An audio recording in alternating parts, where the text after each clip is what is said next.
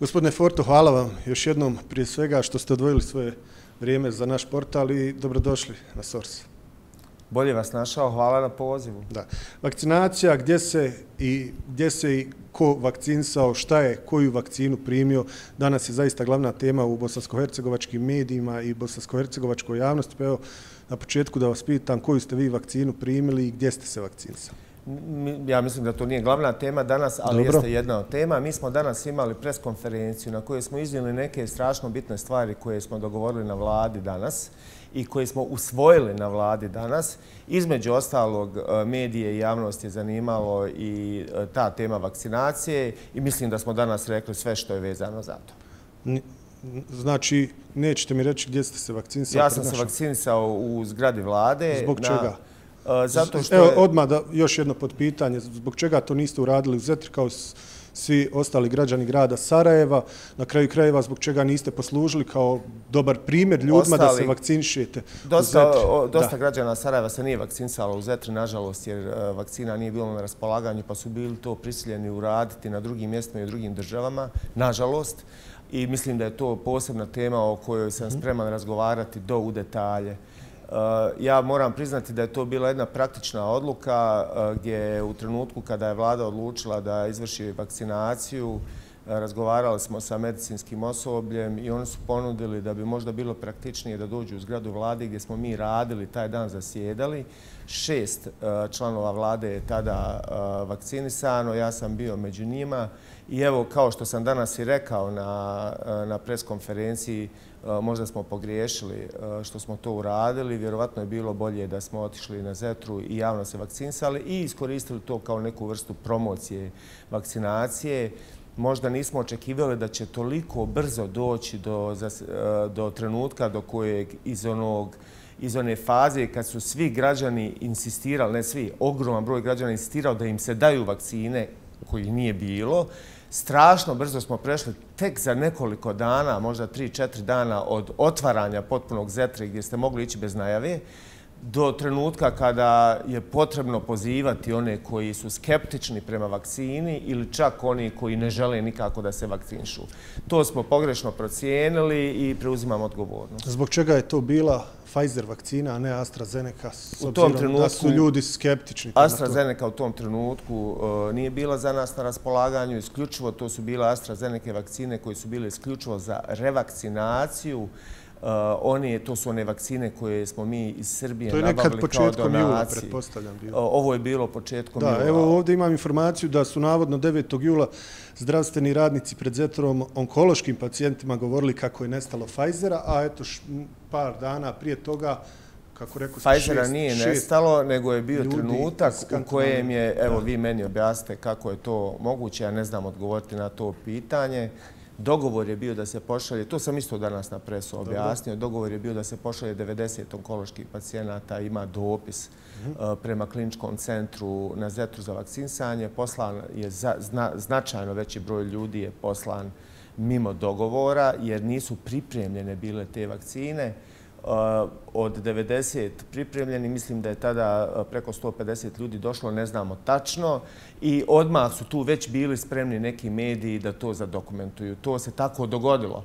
Eh, odmah, nakon, par dana nakon toga, pripremljene su vakcine za sve one koji taj dan nisu dobili vakcinu i dobili su vakcinu. Dakle, već u rasponu od 3-4 dana, nakon tog nesporazuma sa kliničkog centra, između kliničkog centra i Zavoda za javno zdravstvo, svi ti onkološki pacijenti su dobili potrebnu Pfizer vakcinu. Mi ni na koji način nismo utjecali na taj konkretno proces. Taj dan kad se to desilo, jedan član vlade je u Zetri primio vakcinu.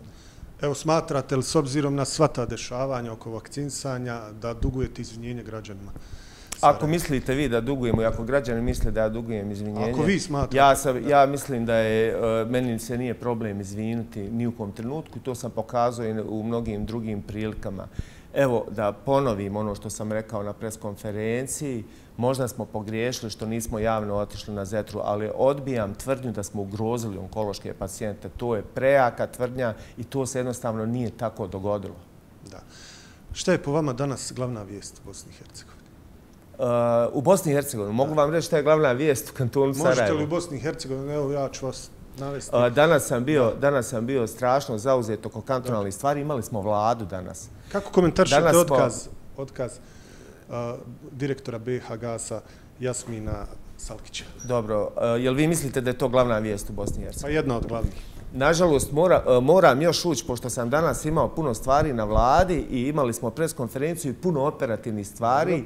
Nisam ušao u izjave njegove sa tačnim razlozima, nisam još to stigao. Ali ako, uh, ako želite da vam komentarišem generalnu situaciju sa, sa tom upravom, Ja mislim da mi smo imali e, neke sukobe u javnosti i u razmimoilaženju još 2019. kad su nam podigli cijenu gasa 25% za građane Sarajeva, pa smo mi, da bi izbjegli taj udar, ne samo udar na džepove građana Sarajeva, nego i zbog e, ekoloških razloga da ima jedna vrlo zanimljiva stvar. Kada što je viša cijena gasa, veći broj ljudi se odlučuje da iz finansijskih razloga sa plina prelazi na puno prljavija goriva, na drvo i na ugalj. I mi da bi izbjegli takve slučajeve, mi smo subvencijom pokrili tu razliku koju su oni povećali bez najave 25 do 30%, To je bio, mislim, maj već u maju je to bilo 2019. Eh, godine, što, što je udar bio najveći u grejnoj sezoni te godine. I tada smo imali nekoliko, nekoliko suprostavljenih mišljenja u javnosti gdje sam ja shvatio da uprava BH Gasa u tom trenutku nikako ne razumije potrebe naših građana. Pa kako biste ocijenili onda rad gospodina Jasmina Salkića? Ne mogu ga ocijeniti, nije u mojoj nadležnosti. Federalna je firma u pitanju, siguran sam da je moglo puno bolje. Da, to vas pitan zato što je on iznio zaista velike optužbe na račun Fadila Novalića i ministra Nermina Đindića. U trenutku kad se mi nismo s njim razumjeli, nije iznosio takve optužbe na račun federalne vlade, a mi jesmo. Protekle sedmice parada ponosa, mnogi ljudi su, mnogi ljudi reći ću podržavaju borbu za, za takva prava, a, pa, ali s druge strane nisu bili za blokadu grada.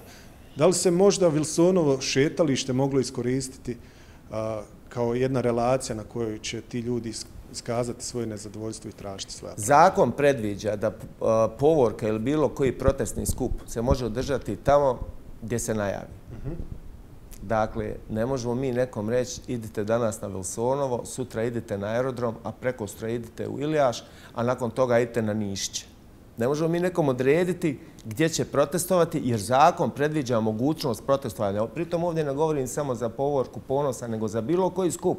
Možda će sutra biti neki skup u kojem će građanke tražiti da mogu pristupiti svakom javnom kupalištu na bilo koji način od jedivene, bilo da je to e, burkini ili neka druga vrsta, jer im je možda negdje to zabranjeno. Isto tako, ova grupa građana LGBT, IQ e, plus populacija koja Eh, koja je eh, oku, zaokupi najveću, najveću količinu javnosti, jer je kod nas to još uvijek kontraverzna tema, one su tražili da eh, šetaju onim ulicama koje im zakon dozvoljava. Blokada grada, nije, nisu oni proizveli blokadu grada odabirom ulica. Blokada je proizvela činjenica da je da su vrhunski profesionalci u našoj upravi policije procijenili taj skup kao skup najvišeg rizika. Nisu oni proizveli to da su oni najviši rizik, nego upravo odnos dobrog dijela javnosti e, u smislu javno, ali jednog dijela građana koji su spremni i agresivno djelovati prema njima. Zbog toga je to tako. Dakle, onog trenutka kad javnost prihvati takav skup. I kad prihvati ono za što se ti ljudi bore, u tom trenutku će biti procjena sigurnosna policije značajno niža i u tom trenutku neće biti blokade, nego će to biti skup kao i svaki drugi. Dakle, bitno mi je da građani shvate da onog trenutka kad prihvatimo drugo i drugačije, u tom trenutku neće biti potrebna zaštita tih ljudi. Da li smo spremni da prihvatamo različitosti evo, u takvom pogledu? Vi ste javno dali podršku LGBT populaciji. Šta mislite kakav je njihov status u Bosni i Hercegovini i da li će se njihov status poboljšati?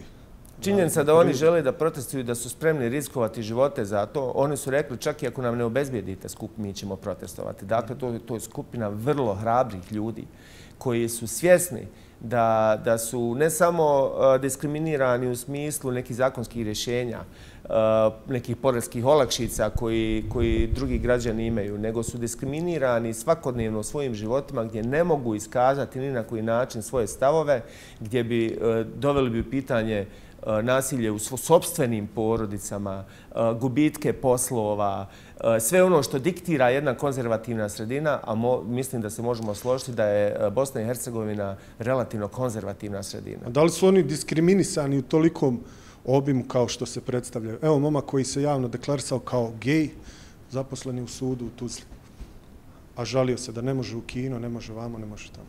A jedan takav primjer uopšte ne potvrđuje, znači, niti, niti ove argumente razoružava. Ako oni misle e, da imaju problem, a ja mislim da imaju problem u jednom ovakvom društvu, i ako želi da se bore za ravnopravni status, ja sam uvijek tu da ih podržim. Da.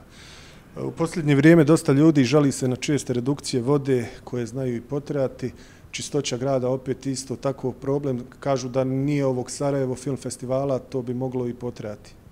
E, to naravno nije tačno e, što se tiče čistoće. A što se tiče prvog dijela, to nisu redukcije vode, to su najavljeni prekidi zbog rekonstrukcije mreže. Mhm. U toku je ogromni projekat e, rekonstrukcije mreže koji mijenja neke dijelove mreže koji nisu dirani po 60 godina. Ono što je najnormalnije je da na ključnim spojevima gdje se to mijenja, da u jednom trenutku dođe do prekida. Vaše pitanje vjerovatno dolazi kao pozadina je prekid koji je umjesto, ne znam, nesjećan stačno, umjesto 7 sati trajao je 33 sata. Da, skoro dva. To je bila, to je bila tehnički problem na licu mjesta gdje je dodatni bio kvar. Moguće da je tu bilo i ljudskog faktora i greške inženjera, što čekamo još uvijek izvještaju nadzora. Ali to ne minja činjenicu da je do prekida moralo doći da bi se zamijenio jedan spoj i jedan cijevi te visokog profila koje je 60 godina stare i to jednostavno tako. Ne radi se o redukcijama, nego o najavljenim prekidima. U onom trenutku kad ovaj e, projekat vodovoda velike rekonstrukcije mreže završi, e, ove, ove pojave će biti značajno rijeđe. A ja napominjem da smo 2017. godine, ljudi se, mnogi to zaboravljaju, u januaru eh, imali 28 dana redukcije, ne popravke mreže, nego redukcije. A u tom periodu, u šest mjeseci, desilo se da je u, u, u prosjeku od, od eh, 30 dana u jednom mjesecu 20 dana bila redukcija. To je 17. godina. Mi danas imamo vodovod, način na koji mi upravljamo vodovod je da nema dnevnih redukcija i prekidi se dešavaju isključivo zbog rekonstrukcije. I ja sam vrlo zadovoljan kako uh, taj projekat uh, ide. Ono što ste pitao za čistoću, mislim da Sarajevo neće biti čisto samo za vrijeme film festivala. Mi smo već, nadam se da ste to i primijetili, već e, 10 do 15 dana prije Sarajevo film festivala napokon sustigli ono što smo nadoknađivali nakon preuzmanja firmi koje su odgovorne za čistoću. Ponavljam još jednom, 54 vozila ili 52 vozila su bila van funkcije u, u radu, od čega e, 42 neregistrovana vozila, što je van pameti. Ne znam uopšte kako, kako ključnu mehanizaciju za vaš rad ste ostavili neregistrovanu. To je, ne, to je nevjerovatno. Plus 10 koje je trebalo popraviti, a nisu pa su bili u kvaru. Dok smo to nadoknadili, dok smo nadoknadili činjenicu da nam je ministarstvo bilo neustavno preko dva i pol mjeseca koje je trebalo da sprovodi programe e, sistematizacija, zapošljavanja i tako dalje. Dok smo sustigli sve to, dok smo popunili e, ljudsku podkapacitiranost, trebalo nam je vremena i u jednom trenutku je stvarno u gradu bilo loše. Ali već prije festivala smo to sustigli ministar je uložio ogromne napore i uspio i sad je zadatak nije to da bude e, samo za vrijeme film festivala, kao što ste rekli, i malo prije toga, nego da bude tokom cijele godine. Ono što smo uspjeli i što, na, na što sam ponosan, je što smo mi 19. akciju čišćenja grada, koje je tad isto bilo izrazito prljavo, napravili smo da je to jedna od naših najvećih, najpopularnijih akcija, gdje smo podizali svijest o smeću, o divljim deponijama i tako dalje. Sada, kad građani znači građani na masovno šalju slike, šta je s ovim smećem, pogledajte ovaj park, ovdje trava nije ošišana, ova divlja deponija, to se prije nije radilo. Sada nam to šalju i mi reagujemo skoro pa u realnom vremenu. Dakle, pošaljite mi vi sliku, pošaljite u rad, ima, ima otvoreni Facebook profil i imamo Viber broj i vidjet ćete koliko brzo reaguju. Promijenila se stanje i u svijesti građana, a i u našoj reakciji. To je nešto što recimo 2000 15. 13. uopšte nije bila tema. Šta će biti sa Grasom? Da li će biti pokrenut dugo najavljivani stečaj? E, na Grasu još radimo. Strašno je, strašno ukoliko u finansijsku rupu je ta firma dovedena. Po pola sata ljudi čekaju ono, prijevoz na stanicama jučer. E, znači to nije samo pitanje Grasa, pitanje ukupnog javnog prijevoza. I ja ću vam reći jednu tezu koju ponavljam već više puta. Gras nije javni prijevoz. Gras je sastavni dio javnog prijevoza i to onaj slabiji dio javnog prijevoza. Ne možemo ovisiti o jednom, jednom društvu privrednom, o jednoj firmi za nešto što se zove javni prijevoz, što u jednoj metropoli, u jednom glavnom gradu, u jednoj široj urbanoj cijelini mora biti žila, kucavica, jedan od osnovnih ključnih pokazatelja kvaliteta života. Javni prijevoz u Beču, je razlog zašto ljudi žele da žive u Beču, zašto ne moraju imati automobil, zato zašto imaju kvalitetni život, zašto bolje mogu planirati svoj život. Beč navodim kao grad koji je strateški širio svoj javni prijevoz, i po deset godina unaprijed imali su ciljeve koliko žele ukupnih vožnji u gradu da bude upravo javnim prijevozom. Mi moramo preći na takvo razmišljanje. Naše nedavno uvođenje, zahvaljujući strašnim naporima i saradnjom federalnih e, željeznica federacije i ministar šteta, koji su dogovorili uvođenje e, željezničkog prijevoza u naš urbani javni prijevoz. To ćemo uskoro isto proširiti. E, ministar Šteta mi je najavio da će to raditi također prema sjeveru, prema Ilijašu. Nove tramvaje koje smo danas na vladi usvojili smo, uh, usvojili smo e, tim za pregovore sa EBRD-om, proširenje pruge do Hrasnice, kupovina novih tramvaja, adaptivno upravljanje saobraćajem. Ovaj projekat adaptivno upravljanje saobraćaja je projekat koji će tramvajima otvoriti raskrsnicu. Znači, tramvaj ide i e, prati se, e, e, elektronski se prati kada, kada dolazi prema semaforu. Semafor za sve ostale zatvara prolaz i otvara prolaz tramvaju koji onda ulazi u svoje stajalište. To će značajno skratiti put, na primjer, od Iliđe, a u budućnosti i od Hrasnice do centra grada i potpuno će transformisati kako vi, mi vidimo javni prijevoz. Sve ovo na kredit, naravno.